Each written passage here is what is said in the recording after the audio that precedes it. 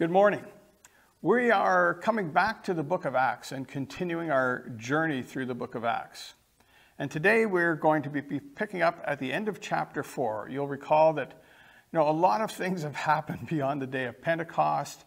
Peter and John have been hauled before the Sanhedrin, spent a night in prison. Uh, you know, they've boldly spoken to them about who Christ is and that they could not stop obeying him rather than obeying the Sanhedrin. And then they've come back to the community, and the people have prayed for them, and the Spirit of God has moved powerfully once again. And then our passage of Scripture that we're studying today picks up with another kind of uh, description of what the community is like. What's going on together as these people are becoming the first church, the first group of believers together in Jerusalem. And so we're going to read from Acts chapter 4, verses 32 to 35. It says, All the believers were in one heart and mind. No one claimed that any of their possessions was their own, but they shared everything they had. And with great power, the apostles continued to testify to the resurrection of the Lord Jesus. And God's grace was so powerfully at work in them, all that there uh, in them all that there were no needy persons among them. For from time to time, those who owned land or houses sold them, brought the money from the sales, and put it at the apostles' feet. And it was distributed to anyone who had need. Here we have this description of a growing community of believers who are responding to the apostles' teaching to their testimony about the resurrection of Jesus. And I'm sure there were many other lessons and things that they were hearing from their three years that the disciples had spent with Jesus, and especially in those 40 days after the resurrection until his ascension, when you know they were hearing the gospel, the truth. And it had a huge impact. Now, in the church today and over the centuries that have passed, we sometimes tend to compare our experience of church today to the early church. Uh, what we saw in those first believers. And sometimes there's a real discrepancy. And, you know, for the people at Radiant, that was one of the foundational thought processes that you were going through as a group of uh, young adults, looking at the book of Acts and going, well, church doesn't quite look like that. And so we often want to go back and you know, kind of capture that and see if we can't experience the same thing. And so we really have to also look back to Acts chapter 2, where there is the first description of believers on Pentecost and their response uh, to the coming of the Holy Spirit. And we've looked at this earlier in Acts 2 42 to 47. We read this They devoted themselves to the apostles' teaching and to fellowship and to breaking of bread and to prayer. Everyone was filled with awe at the many wonders and signs performed by the apostles. All the believers were together and had everything in common. They sold property and possessions to give to anyone who had need. And every day they continued to meet together in the temple courts. They broke bread in their homes and ate together with glad and sincere hearts, praising God and enjoying the favor of all the people. And the Lord added to their number daily those who were being saved. Now, when we compare these two passages of Scripture that are describing, you know, the early church, there's, there's a number of common themes that I think we see in both passages. And the first theme is this sense of commitment, this sense of devotion, of unity of heart and mind. They seem to be all in on following Jesus. And, sometimes we may get thinking that, you know, they gave up everything in their lives to be Christians, to be followers of Jesus. But I think if we think about it, we'll go, well, that's not the case. The, you know, they still had to go about their ordinary lives. They still had jobs, re- responsibility, and families to care for, Um, and so the carpenters probably continued to be carpenters and doing their work. The, the, the, housewives continued to be housewives and looking after children, and children may still have been playing and going to school, but there was something added to their lives, something quite different. And there was this sense of commitment, of priority that was placed on being followers of Jesus, but not giving up everything else that they are and who they were. The apostles continued to do their thing, teaching and testifying to the resurrection of Jesus. That was an integral part of what was continuing to be part of their fellowship. And God was continuing to do his thing as well. Signs and wonders performed through the apostles, ongoing. They were spending time together, not only at the temple, at church, at the, the place where we normally go to worship, but they were spending together, time together in their homes as well. It wasn't just this, let's meet for church. This was we're essentially living life together.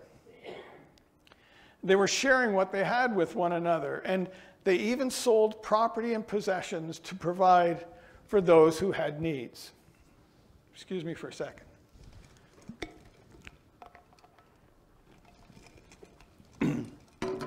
I have to apologize. Even, even when I'm preaching, I find it really hard not to sing all, all the songs that we're worshiping. Um, and so that does a little damage to your voice before you get up to speak. So uh, bear with me. Now, it's not only Christians that look to this type of community and find it attractive. Not just Christians, and there's many people that have tried to copy it, at least the communal living part. Isn't that the case?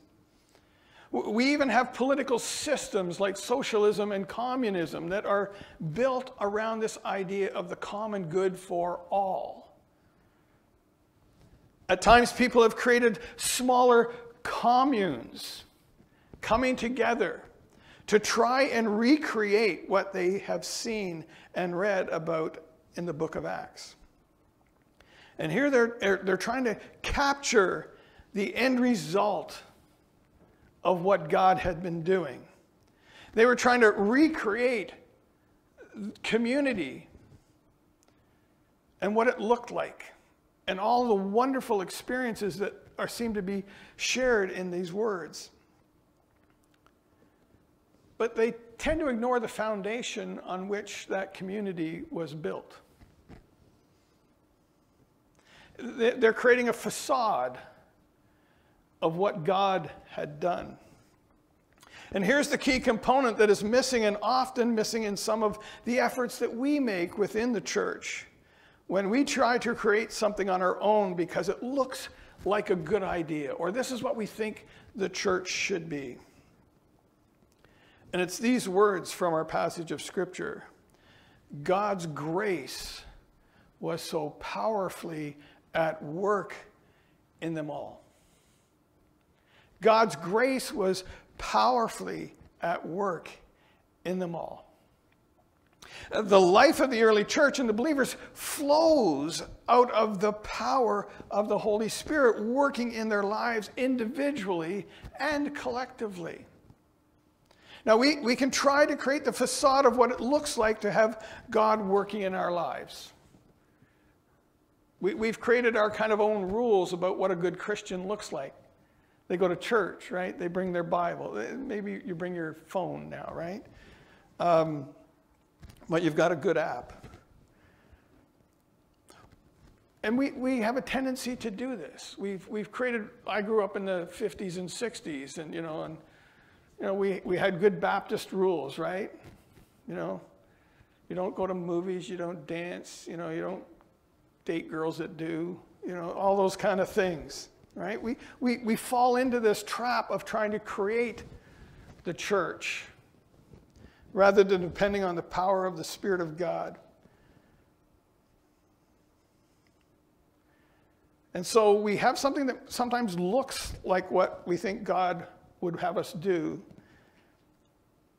But we really need to be living in the power of God's grace and letting the life of Christ flow through us so that it'll impact those around us as well. That is the message of Acts. That's the message of the church. And so, what follows this description again is a, life of the early church are two examples that provide us with very contrasting pictures of living in the power of the Holy Spirit and trying to make it look like you are. The example we read is about Joseph, a Levite from Cyprus, whom the apostles called Barnabas, which means son of encouragement. He sold a field he owned and brought the money and put it at the apostles' feet. What do we know about this man? Why, why out of 5,000 men that were now part of the church, not counting women and children, why out of 5,000 men is Barnabas an example? Well, I'd like to suggest that because he was a man with a reputation and a well earned nickname. It wasn't because he actually sold the property and brought the money to Jesus, to the apostles, and set it at their feet.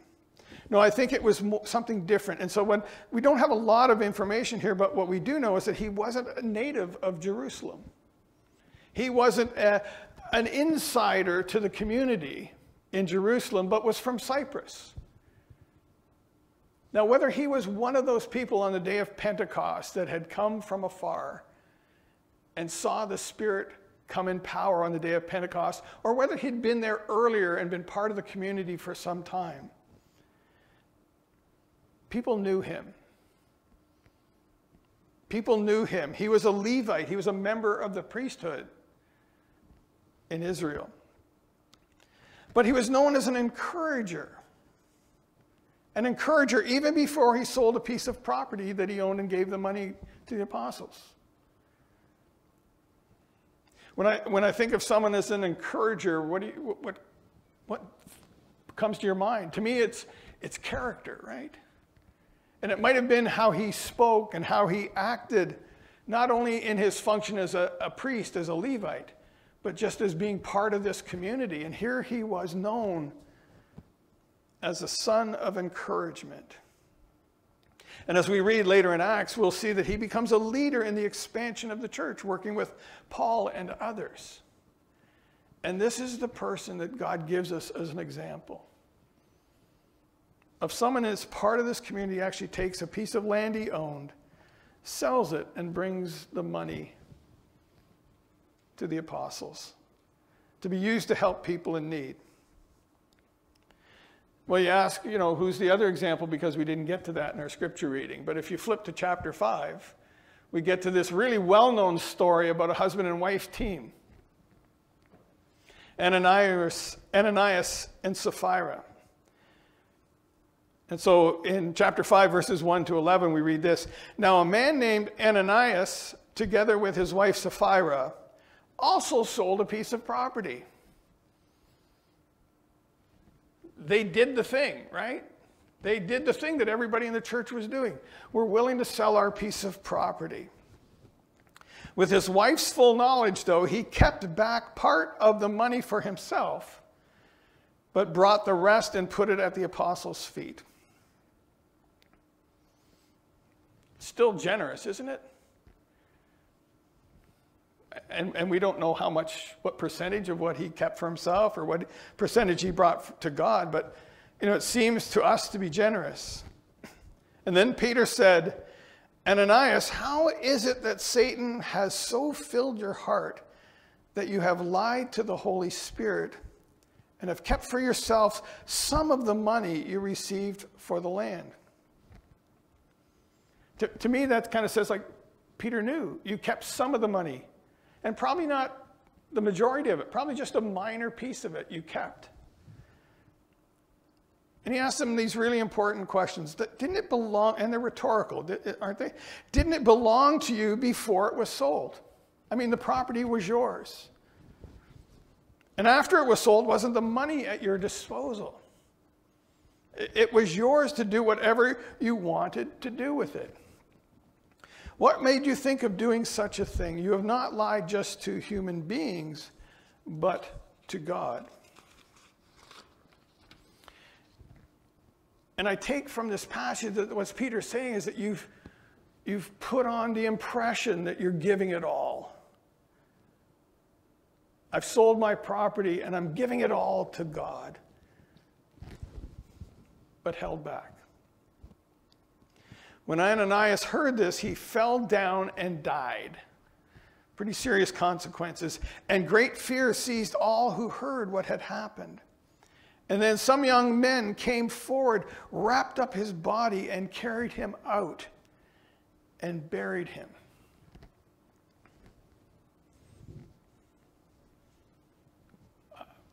I don't know about you, but I'm, I can think of many times in my life where I've kind of pretended to God, right?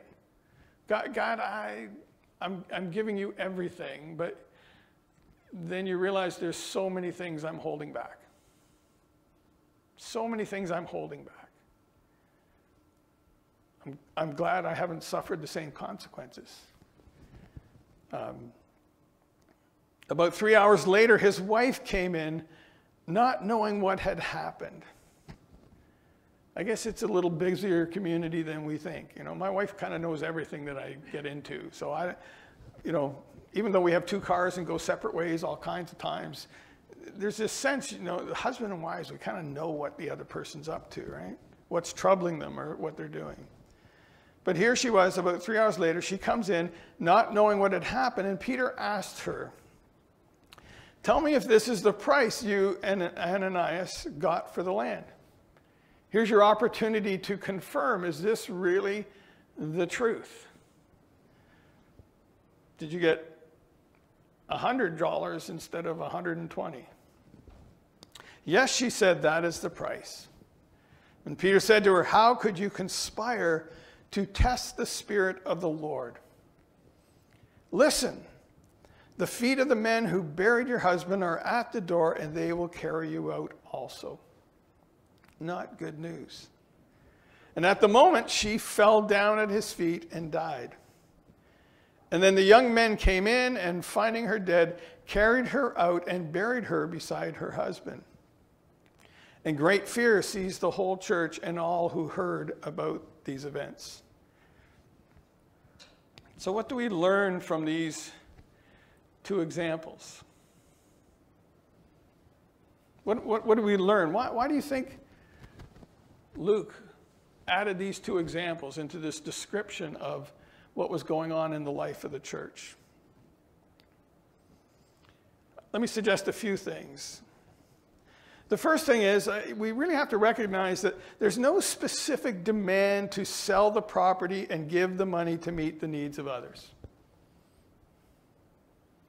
To be part of the community doesn't mean that, you know, if you've got property, even if it's excess, doesn't mean you have to sell it to be part of the community.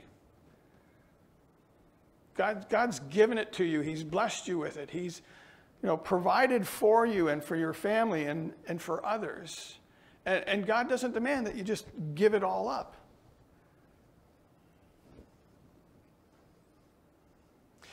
But there is a demand for honesty. There's, there's a demand for honesty with God, certainly. That becomes very clear when he talks about lying to the Holy Spirit.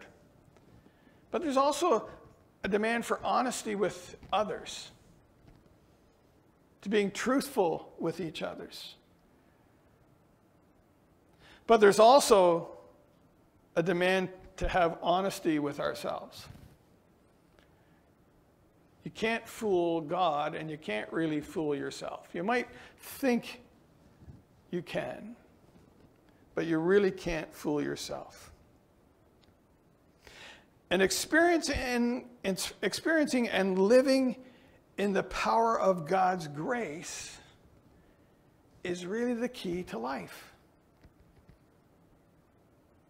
Here, Ananias and Sapphira thought, you know, the, the right thing to do is to sell our property and, and serve the needy.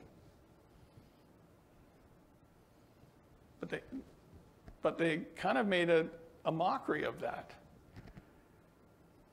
because they lied to God and lied to the others and lied to themselves about, yes, this is all we have and we're giving it away.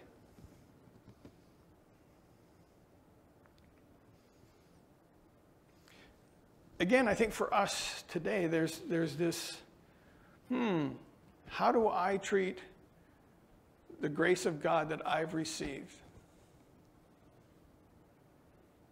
Can I uh, just find myself following some rules that I think apply? Some boxes that I can check off that make me feel good about, okay, yeah, I'm donating to the church, or I'm going out and serving at Ray of Hope, and, and, or I'm going out and I'm doing this. And, and checking them off because there's something to do, there's something we think God will, would want us to do, there's, you know, we feel an obligation somehow. And so we look for things to check off our list to make us feel good about where we would stand before God. And it's so far from living in the Spirit and living in the knowledge of God's grace and how generous a God He has been. And so sometimes we let this attitude of scarcity that I, I need my own time, I need my own protection, I need my, stuff for me, as opposed to what does God want to give me and what does He want to do through me. Paul provides us with this wonderful description of how God's grace works to our benefit and through us to the benefit of others. It's a really familiar passage in Ephesians 2 4 to 10. Paul was writing these words to that church and to us. He said, Be, But because of his great love for us, because of his great love for us, God, who is rich in mercy, made us alive with Christ even when we were dead in transgressions. Isn't that a beautiful picture? Because of his great love for us, God, who is rich in mercy, made us alive with Christ even when we were dead in transgressions. It is by grace you have been saved. And God raised us up with Christ and seated us with him in the heavenly realms in Christ Jesus. Talk about a transition. In order that in the coming ages he might show the incomparable riches of his grace expressed in his kindness to us in Christ Jesus. God's expression of love and abounding grace. Being kind to us through Christ. For it is by grace you have been saved through faith. And this is not from yourselves, it is the gift of God. Not by works, so that no one can boast. For we are God's handiwork created in Christ Jesus to do good works, which God prepared in advance for us to do. And when we get that out of sync and start to do things backwards, when we just start to do good works, just for the sake of doing them,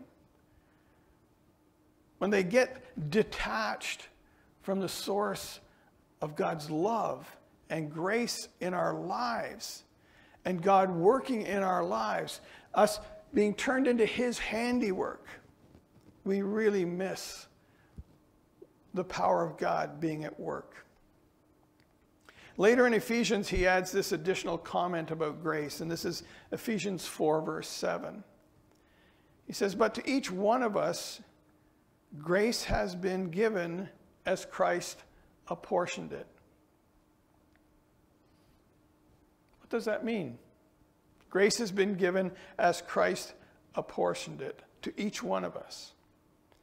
Well, God's grace is expressed universally in the gift of salvation that we all can receive. There's this, you know, that's a universal truth that the apostles have been teaching and preaching to people.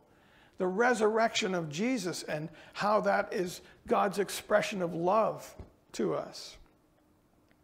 But here he's seeming to indicate that God's grace is also expressed to us individually. That God knows who we are and what we need and provides each of us with the grace for every situation. The gifts of the Spirit are an individual expression of God's love for us that gifts us and empowers us.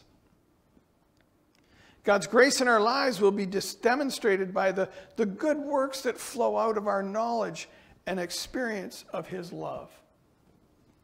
Peter also reflects these similar thoughts on grace. In 1 Peter 4 7 to 11, we read this The end of all things is near. And sometimes because we look at that and, and we go, okay, that was written over 2,000 years ago, and well, the end really wasn't near for them. And we start to question, well, was, is the end near for us?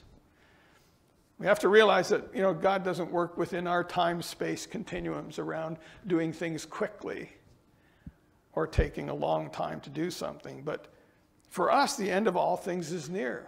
God is going to bring his purposes to conclusion. And so Peter writes to people and, says this to them Therefore, be alert and of sober mind so that you may pray. So that you may pray. Above all, love each other deeply. Love each other deeply because love covers a multitude of sins.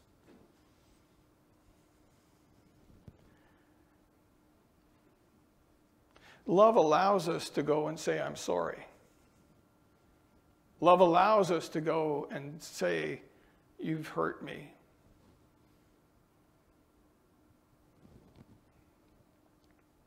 Offer hospitality to one another without grumbling. And that's kind of the, well, they invited us for dinner, so I guess we have to invite them over for dinner, but they're probably going to bring their kids and then they'll run around the house and then who knows, something will get broken, so maybe we can meet them at Swiss Chalet. You've ever had those thoughts? Eh. Offer hospitality to one another without grumbling. Each of you should use whatever gift you have received to serve others as faithful stewards of God's grace in its various forms. If anyone speaks, they should do so as one who speaks the very words of God. And believe me, when you have the responsibility of stepping up here on a Sunday morning to try and share God's words with people, you take that very seriously. You, you don't need to hear my words and my thoughts anyone I've ever dealt with that does any kind of speaking or preaching in a church or other places always wants people to hear the words of God as they're being shared, as the scriptures are being opened, and we're asking the Spirit of God to speak to us from His Word. If anyone serves, they should do so with the strength God provides so that in all things God may be praised through Jesus Christ. To him be the glory and the power forever and ever. Amen. Now, I think the key phrase in this little passage are these words As faithful stewards of God's grace in its various forms. Stewardship isn't something we talk about very often in everyday language. But when you go to the dictionary and go, you know, what's steward mean? There's a, a variety of things, but the main thought is this one employed in a large household or estate to manage domestic concerns. Isn't that a beautiful picture of our responsibility to God? Here, God has called each of us into his family, into the church. And He's loved us through His grace. He's provided us with all His limitless resources to share with others. And so when Peter is and Paul are, are writing in the scriptures and writing letters to people, almost every introduction of those books, those letters start with this type of phrase The grace and peace of our Lord Jesus Christ be with you. The grace and peace of our Lord Jesus Christ be with you. It's not what do I have to offer you? Because I'm pretty limited as a person. I only have so much. And in comparison to the incomparable riches of God's grace, there's no comparison. So God has called each of us into his family, the church. He's loved us with this incomparable grace and provided us with these limitless resources to share with others. Not my resources, but His resources. We're on this journey together as Grace and Radiant, and you know, we're, we're tempted to try and manufacture the kind of church we think God wants us to be. I've got a business degree and worked in management in a company, and I fall into this pattern so easily of I can see what we should be. I can see where I think we should go. And I'm sure many of you have had those same thoughts over these months as we've had these discussions. We, we may have a picture in our minds of what this should look like in a few months or a year or two years or five years down the road. And, and we're defining a process that we, we think us will take us to where we want to be.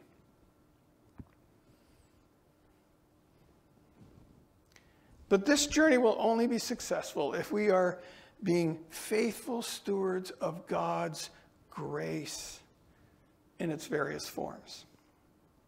My, our hearts have to be open to experiencing God's grace in our lives and living in the power of the Holy Spirit. And out of that abundance, letting Jesus live through me and to the benefit of others.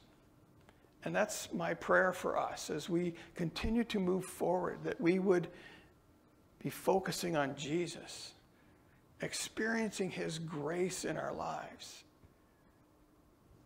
and through that, sharing it with each other and to our community. Let's pray.